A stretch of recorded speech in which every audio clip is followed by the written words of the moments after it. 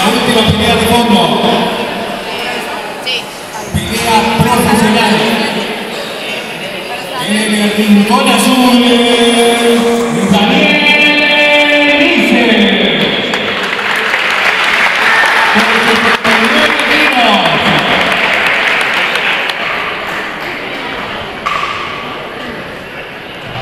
en el rincón rojo.